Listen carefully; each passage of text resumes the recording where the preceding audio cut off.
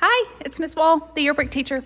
Um, I'm going to talk about yearbook themes today and kind of walk you through how to pick a good theme and what to look for and what you need to be, if you're an advisor, what you need to be advising your students on, if you're a student, what you need to be considering.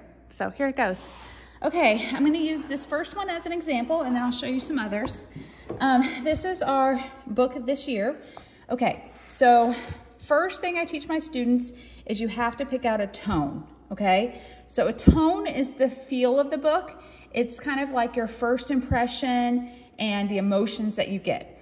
So this year's group really wanted a fun tone, okay? They wanted something to feel happy, to upbeat, to make you feel excited. So they picked colors, they picked a design, and they picked a theme around that tone, okay? So some other tones to consider. Um, two years ago was All In, and this was a kind of what I call collegiate tone or a school tone, school spirit. Um, our colors are red and gold, so it was a very clean look. It had a lot to do with school mascots and school things inside. So that's what I call kind of a school theme. Um, another tone that we have, this one would be another like happier fun tone. Um, this one, the blueprint, was a more serious tone. Okay, so you get a book like the blueprint, and you're going to feel um, like it's a very serious, formal, kind of clean looking book, okay? And I know that before I even open it. Um, another tone idea is one that reflects a popular musician, a popular show, a popular um, song, something like that. So we had Raider Things instead of Stranger Things, and that was our, our tone was to be like the show okay?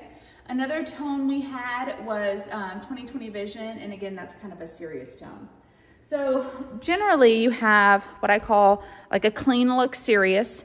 You have school spirit. Oh, let me grab this book. You have a fun or happy, light-hearted kind of tone. Um, another tone, I don't have an example on my wall right now, is kind of an earthy tone. So those are ones that have lots of greens and browns and tans and they feel very natural. Sometimes there's like twine in there somewhere on the designs, um, but kind of an earthy tone that goes with it.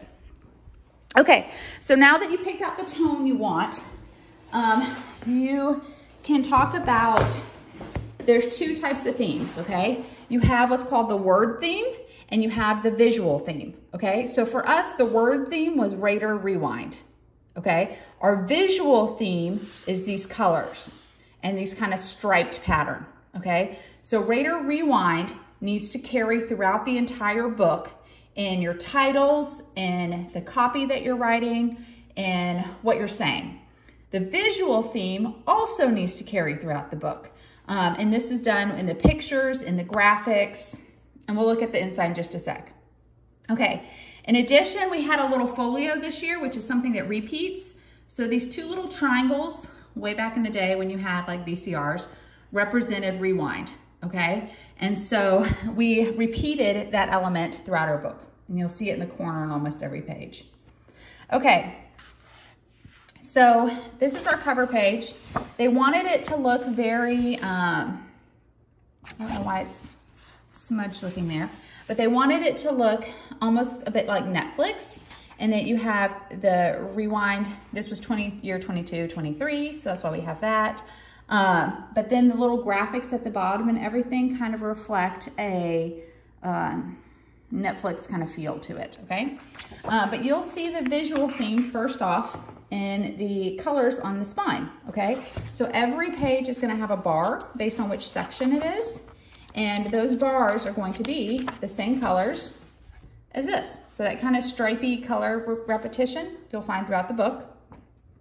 Um, okay, uh, the first page again has kind of that Netflix feel. It'll talk you through what's popular now, and then even little details about overview, semesters, more like this. Um, so we've, we've made it into a book look, but um, we've still kept some of the original, recently added my list search option. Okay, this is the, um, sorry, theme page. So what I kind of teach my students, and you can vary up the order, is there is the opening page, or the title page, sorry. Um, endsheet where people sign their names, so don't go crazy here. People need to sign their names. Title page that has the title, name of the school, and all the information. Um, table contents, which is sometimes its own page, sometimes it's done on one of the others. And then you have a theme page. So theme page is where you really introduce the theme. You normally have a little paragraph explaining the theme.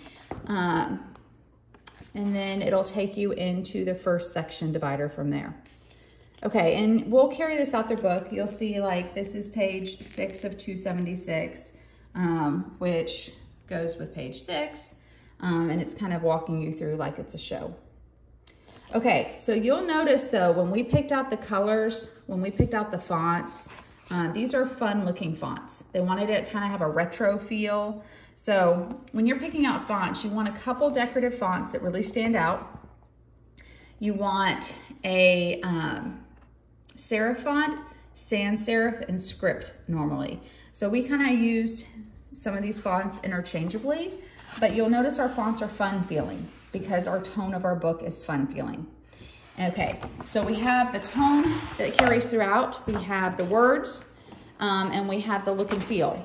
So you'll see this was done very uh, Raider Rewind as you're looking back on it, okay? So we were thinking years from now when someone opens the book, um, they will want to rekindle the energy, rediscover your memories, re-enter middle school, rewind the year.